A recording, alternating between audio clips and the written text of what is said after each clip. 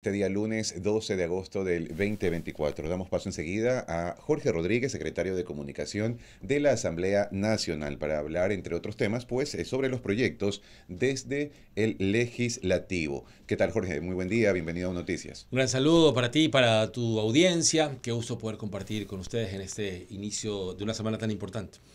¿Qué tal, Jorge? Y esperando pues también que hayas pasado un excelente feriado de este fin de semana. Gracias.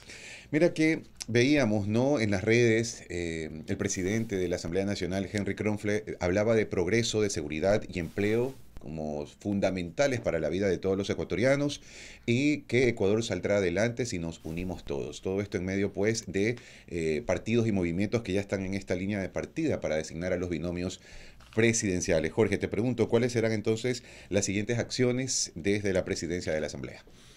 Eh, bueno, eh, creo yo que hay eh, todo un mapa de trabajo, todo un cronograma que se ha planteado, que se llama Agenda Legislativa 2023-2025, que involucra más de 100 proyectos, proyectos como la Ley de Inteligencia, la Ley de la Policía Nacional, que es una propuesta del mismo presidente de la Asamblea, Henry Kronfle, reformas a la Ley Orgánica de Discapacidades, que ya está también en mesa, en la Mesa de Garantías Constitucionales, son eh, realmente una cantidad, un volumen importante de proyectos que nos hemos planteado eh, como asamblea para poder tramitarlos y terminarlos hasta mayo de 2025, ¿verdad? La idea es que esto recoge la prioridad de cada una de las mesas eh, ocasionales, de, de, las mesas permanentes, perdón, de la Asamblea Nacional y que le permiten a la colectividad saber un poco lo que se viene en el radar próximo de la Asamblea Nacional.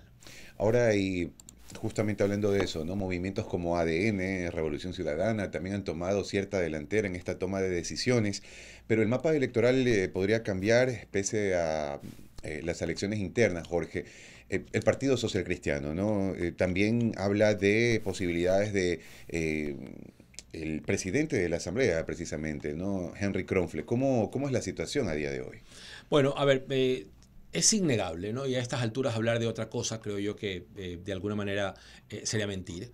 Eh, Henry Crawford es el principal candidato que tiene hoy el cuadro del PSC. no es el único, porque hoy es un precandidato. La asamblea del PSC, que va a ser el día jueves en el Teatro Fedenador a las 10 de la mañana, va a ser la que defina la eh, permanencia o no del presidente Cronfle o en la Asamblea o si efectivamente el alza salta a las líderes presidenciales, ¿verdad? Que son una decisión de vida para lo cual él se ha venido preparando, ha venido hablando con, con la familia y todavía no ha hecho pública su decisión eh, de si corre o no, pero eso también depende de lo que tú decías, ¿no? La, em, el ejercicio de democracia participativa, las elecciones primarias que tiene que haber dentro de cada organización política, como tiene que ser cumpliendo el código de la democracia, y luego eh, yo creo que lo más probable es que, el, deba salir, porque es el cuadro más fuerte que tiene el PSC. Pero, reitero, la asamblea del partido es la que va a determinarlo. Ahora, eh, Jorge, ¿cuál es tu lectura respecto a la situación, a la coyuntura del país, ¿no? sociopolítica, económica? El mismo Kronfle hablaba de que los tiempos difíciles existen líderes, exigen líderes más bien valientes y sobre todo un pueblo unido. Yo creo que es una coyuntura de las más difíciles que recuerdo eh, y tengo una memoria política casi desde el regreso a la, a la, democracia y te voy a decir por qué. ¿no? Tenemos un país con indicadores de violencia nunca antes vistos. Tenemos un país con indicadores económicos nunca antes vistos, para mal. Luego hay una polarización también provocada desde Carondelet. Y no hablo de, de nadie, no, no es mi intención atacar a nadie, pero esa polarización es o estás conmigo o soy el peor enemigo que, que, te puedas imaginar. ¿no? Con ese tipo de mensajes, yo creo que la clase política se alinea. ¿no? Aquel en el que decía que no era anti nada y pro todo, ahora es eh, realmente todo lo contrario. Y, se vuelve... Eh, una radiografía, un reflejo de esta pugna política, eh, y estoy seguro que ahí mismo me vas a consultar sobre la, eh, sus, las desavenencias con el legislativo, eh, y yo te voy a contestar lo mismo que siempre responde el, presidente Kronfle, que la Asamblea lo que hace como institución, a través de su único vocero, que es el titular de la función legislativa, contestar. Contestar una serie de ataques, una serie de mentiras, que son parte del quehacer político, que son parte del estilo de esta nueva política, de este, y lo digo entre comillas, de este nuevo Ecuador, que lo que hace es robar las prácticas del viejo Ecuador y de la más recalcitrante eh, política. Entonces, eh, creo yo que es un panorama muy complicado para cualquiera que venga a terciar ya es un valiente. Solo por querer participar, me parece que si hay 10 nombres o 12 nombres hoy en carpeta, tenemos 12 valientes, ¿verdad? Eh, por lo que se viene. Porque, pero Jorge, no eh, todos van a llegar y algunos tienen pues, menos de un, por ciento. Totalmente de, acuerdo, pero, pero, ya estar ahí, tener la intención, ya para mí merecen algún tipo de reconocimiento. Luego, para el que venga, para la tendencia que venga, eh, manejar el país no va a ser fácil no va a ser fácil, eh, va a suponer desafíos, va a suponer algo que el presidente Cronfle viene hablando y recuerdo que lo dijo muy claramente en el, eh, su discurso eh, por las fiestas de Guayaquil el 24 de julio, que tuvimos una, una, linda sesión solemne en, la, en el auditorio de la UTEC, él dijo, estoy aquí para proponer una nueva forma de hacer política. Primero, un gran acuerdo, un gran acuerdo al Ecuador de la unidad y a que todos los partidos, todos los actores y sujetos políticos puedan hacer otro tipo de política, una política de la propuesta, ¿no? una política de denostar a nadie, de insultar a nadie, de, mentir, de, creer de que el, Ecuador se gobierna por redes y ese tipo de cosas que creo que, que no hacen sino eh, seguir eh, disminuyendo la proyección que tiene o que tenemos como país. Ahora, Jorge, hablabas sobre un acuerdo de la unidad, ¿no? ¿De qué unidad eh, exactamente estamos eh, conversando, ¿no? Porque vemos luego la izquierda, ¿no? De nuestro país y es la historia de una constante desunión. Luego incluso vemos al expresidente Rafael Correa diciendo que se siente más cercano a una derecha nacionalista honrada que a falsas izquierdas de la oligarquía. ¿Quién me entiende? Sí, pero, pero sabes que lo que quiso hacer la izquierda es lo correcto. Yo te voy a poner un escenario ideal, ¿no? Ya luego me dices tú si es posible. ¿Qué tal si se unieran todos los partidos del centro y todos los partidos de movimiento de la derecha y todos los partidos de movimientos de la izquierda y sacaran un candidato por tendencia, ¿no te parece que la gente tendría una eh, mayor facilidad para primero saber qué proponen? Segundo, saber en qué andarivel, andarivel ideológico están. Eh, y luego, quién es, conocer qué ha hecho ese candidato, cuál es su historia de vida, cuál es su, su, proyección, su palmarés para poder sentarse eh, en, una plataforma presidencial. Yo creo que sería eh, el escenario ideal, ¿verdad? Sería lo mejor. Eh, ahora, la izquierda trató de ponerse de acuerdo hace un par de semanas y no pudo. Ya de esa foto inicial hay algunos que se han separado. Ya RC sacó su, su propia candidatura con nombres que pudieran o no estar al gusto de, una parte de la audiencia o de toda. Pero lo que voy es que el Ecuador necesita ese acuerdo en el que se depongan aspiraciones personales, en la que los candidatos dejen de medir cuánto le engrosa el currículum la candidatura presidencial y más bien piensen cuánto le puede aportar, porque esto de dispersar el voto también favorece a los que tienen voto duro. ¿Quiénes tienen voto duro hoy? El presidente ejecutivo en en funciones, porque tiene todo el aparataje presidencial para eso, y la RC, ¿verdad? El resto de partidos ahí se reparten entre eh, cinco puntos y, realmente por lo menos las proyecciones que hay. Entonces ahí uno tiene que pensar eh, si es esta la clase de política que queremos seguir viendo para los próximos cuatro años, a partir de mayo de 2025, o si queremos un cambio de verdad. Entonces, quien proponga algo diferente, quien proponga un acuerdo de unidad, quien proponga que pongamos una agenda de Ecuador primero, antes que mi nombre aparezca en la papeleta, yo creo que eh, va a tener muy serias opciones de ser presidente. Ahora, mira que faltan aproximadamente cinco meses ¿no? para el inicio de la campaña electoral del 2025 y en este sentido, en este contexto también, Jorge, ¿habrá candidato heredero de eh, Fernando Villavicencio en estas elecciones? A ver, eh, construye como tal, eh, yo veo dos, problemas en construye. lo primero, sí, por supuesto, ellos se endilgaron el, el, título, el membrete de Adalides contra la, contra la corrupción y creo que se posicionaron bien allí. Eh, pero primero, eh, en la asamblea, si bien tiene cuadros eh, interesantes, te voy a decir un par de nombres, Camilo Salinas y Jorge Peñafiel, por lo menos que son los más visibles a nivel de, de hombres, ¿verdad? A nivel de mujeres también tiene cuadros muy interesantes, pero sobre todo que tenían una legítima aspiración presidencial y ahora resulta que han eh, optado por un candidato que viene de afuera, de hecho que viene de las filas de Creo y antes del PCC, como mi buen amigo Henry Cucalón, eh, que ahora es quien está terciando allí. Entonces, en, esa, eh, en ese ejercicio, en ese juego democrático, no terminan de posicionarse. Entonces, ¿eran los adalides de la corrupción o no? Porque ya ahora viene una persona con experiencia política, con un recorrido, un tipo muy preparado. Pero creo yo que con pocas posibilidades de poder pasar a segunda vuelta. Esa es la verdad, sin, sin, ningún maquillaje.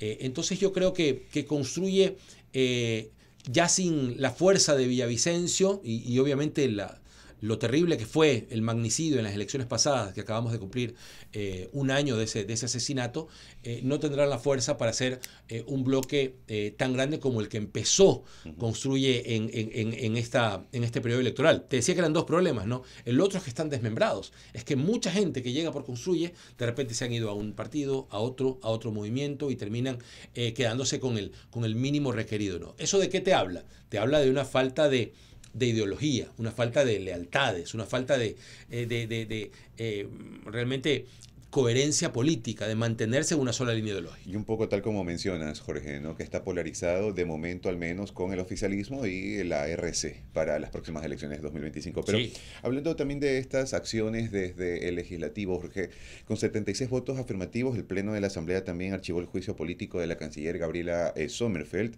Eh, recordemos que fue la moción presentada el pasado jueves por el asambleísta César eh, Umaguinga, pero también se viene el juicio a la ministra Mónica Palencia. Sobre este tema, pues también el presidente no ha hablado y ha publicado pues un video diciendo que debería atacar a las mafias en vez de defenderse ante ellas.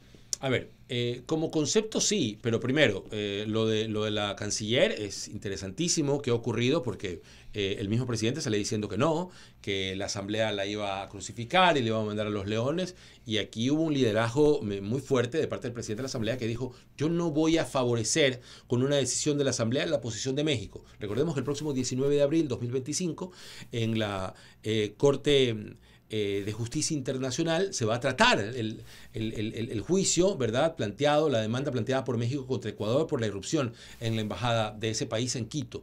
Entonces, sancionar políticamente, porque lo que hace la Asamblea en un juicio político es sancionar políticamente a la canciller, favorecería la posición de México. Entonces, la Asamblea no se iba a prestar para eso y fue lo que ocurrió. Tuvieron una eh, realmente una eh, posición coherente, inteligente de parte de la mayoría de asambleístas que dijeron, dijeron que no a, esa pretensión. Ahora, en el caso de la ministra Palencia hay otro escenario. Eh, y aquí también políticamente el presidente sale a comunicar lo que quiere para confundir al electorado. Sale a decir de que ella tiene que estar atacando a las mafias, no defendiéndose de la política.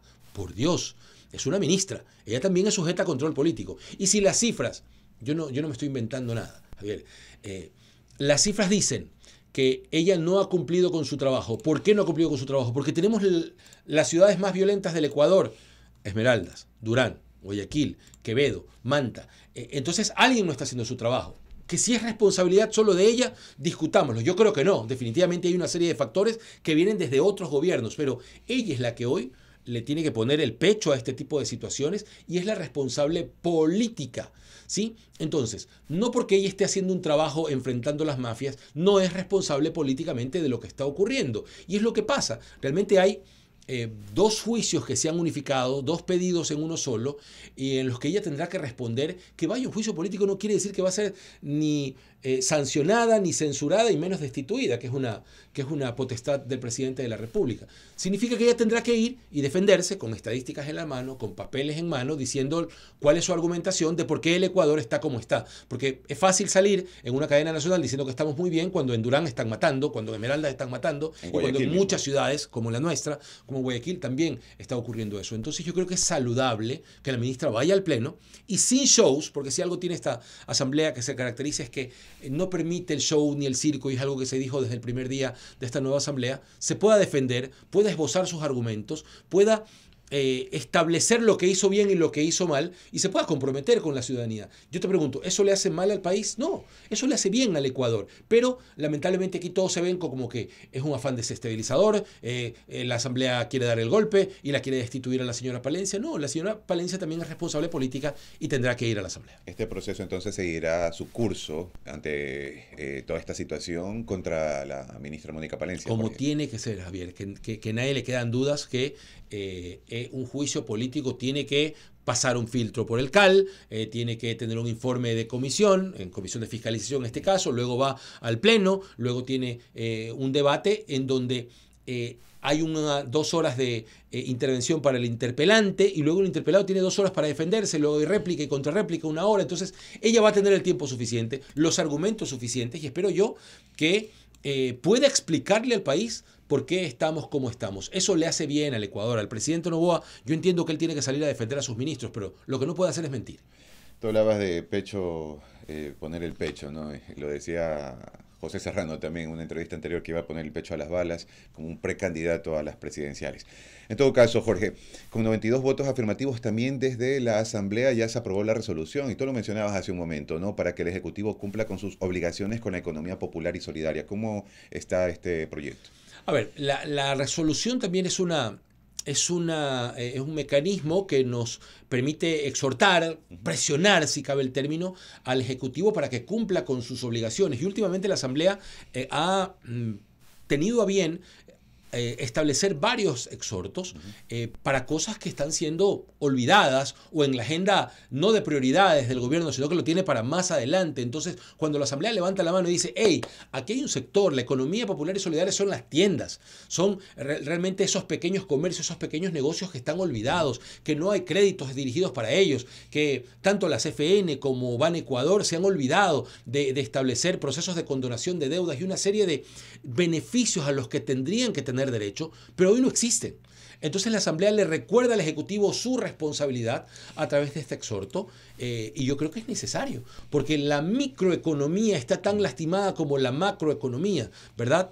Entonces, eh, que la Asamblea se tome el tiempo de establecer esto, insisto, no como, no como un show, no como un circo mediático, eh, sino como un mecanismo de presión para que el gobierno cumpla con sus responsabilidades, creo yo que, que le hace bien al país y sobre todo eh, la gente empieza a ver una Asamblea diferente. Y te lo digo con mucha humildad, empieza a ver una Asamblea que se preocupa de esas necesidades de, la calle, del barrio, eh, de, los sectores más populares eh, que antes no se veía. Entonces, que la Asamblea haga un exhorto combinando al presidente para que cumpla sus responsabilidades con la economía popular y solidaria, creo que es algo bueno que emita un mensaje poderoso. ¿Qué más se viene aquí, Jorge, pues en agenda del legislativo, pues, y sabiendo que poco a poco se acerca también las eh, pues, candidaturas ya oficiales, tú lo has mencionado, por el Partido Social Cristiano tienen una asamblea este mismo jueves, pero ¿qué se viene aquí en más, Jorge? A ver, esta semana tenemos una serie de debates interesantes. Por un lado, eh, la reforma de la ley de defensa contra incendios, que le da